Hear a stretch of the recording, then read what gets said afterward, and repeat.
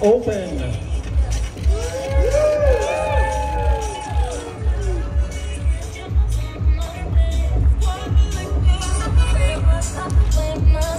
Thank you very much, everybody. We invite you to.